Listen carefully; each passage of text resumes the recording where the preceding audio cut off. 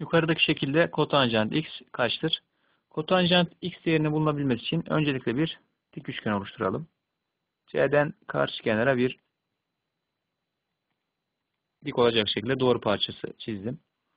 Bu noktaya da E noktası diyelim.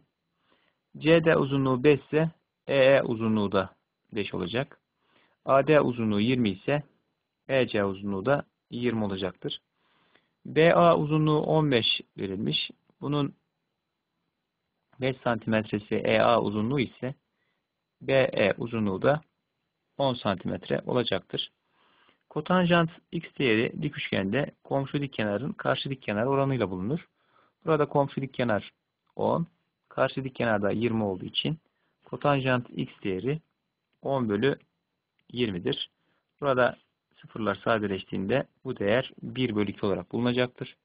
Doğru cevap A